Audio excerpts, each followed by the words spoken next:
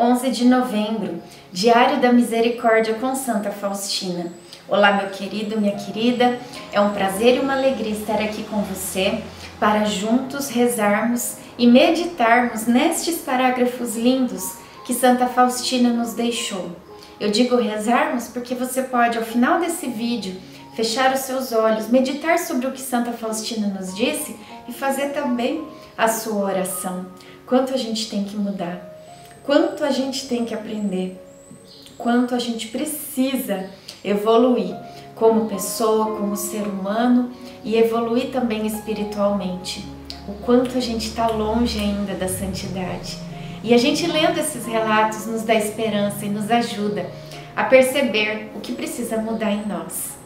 Hoje nós vamos ler juntos o parágrafo 563. Antes de vir para o Wilno, e de conhecer este confessor, em determinado momento tive a visão de uma pequena igreja, onde, perto dela, vivia esta congregação. O convento tinha doze celas e cada religiosa devia morar separadamente. Vi o sacerdote que me ajudava na organização desse convento e a quem encontrei alguns anos mais tarde, mas, mas na visão já o conhecia.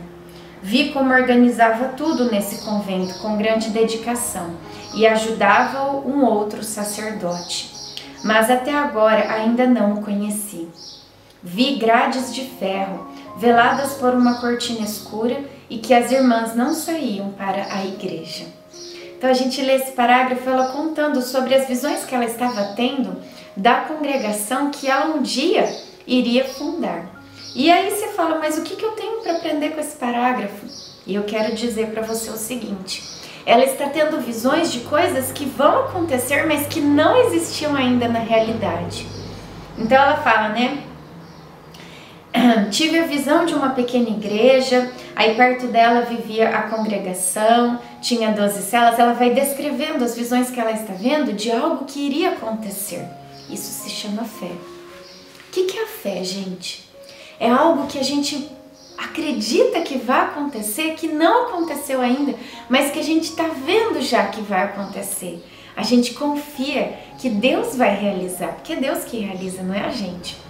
Mas Deus é tão sábio que Ele não dá assim as coisas de paraquedas caindo na nossa cabeça. Nós também precisamos nos esforçar. É preciso que nós tenhamos fé. É preciso que nós acreditemos e façamos a nossa parte. Você não vai alcançar as coisas que Deus quer para a tua vida sentada no sofá esperando isso acontecer.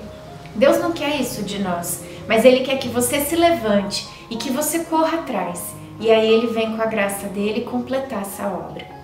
Santa Faustina foi assim. Ela não tinha dinheiro, ela não tinha condições, ela não tinha sequer estudo para fundar uma obra religiosa. Mas Deus pediu isso para ela. E o que, que ela faz? Ela vai atrás. Ela conversa com o padre, ela conversa com as superioras, ela reza, ela entrega tudo nas mãos de Deus. E aí o que, que acontece? Deus vai realizando. E para que ela entenda a vontade dele, ele vai mostrando as visões para ela. Então ela vai tendo a visão daquilo que um dia vai acontecer. Um dia vai ter um, um mosteiro, Nesse mosteiro, nesse convento, vai ter 12 celas. Aí cada cela vai ter uma irmã que vai morar sozinha em cada cela. Vai ter um padre que vai ajudar. Então ela tá contando, ela tá narrando aqui. Eu sei que tem coisas que Deus tem promessa para você e tem para mim também na minha vida. E eu até vejo já, eu tenho a visão também das promessas que Deus tem para mim. E é importantíssimo que a gente veja porque quando a gente vê aquilo que Deus, não que aparece visão na minha cabeça, eu fico pensando, olha, Deus, ele precisa que eu faça isso, ele espera isso de mim, porque vai acontecer assim, assim, assim, no plano dele que ele tem para mim. E aí, você levanta cedo, lava o rosto e fala: "Eu vou continuar", porque Deus tem um plano para mim. E eu imagino onde é que eu vou chegar, porque Deus tudo pode realizar na minha vida. Era assim com Faustina. Ela não tinha o mosteiro, ela não tinha as irmãs, ela não tinha celas, ela não tinha o padre, não tinha nada. Ela só tinha visão. Mas ela foi. Ela correu atrás. Ela lutou por isso, porque era vontade de Deus para ela. Então, Deus também tem a vontade dele para você e para mim. Lute pela vontade do Senhor. Imagine que Deus vai realizar a obra mais perfeita que ele pode fazer na tua vida. E não deixe que esse sonho de realizar a vontade de Deus se apague dentro de você. Visualize, imagine você já concluindo a obra dele, fazendo aquilo que ele te pede. E com certeza a fé vai te levar a alcançar os planos do Senhor na tua vida. Jesus, eu confio em vós.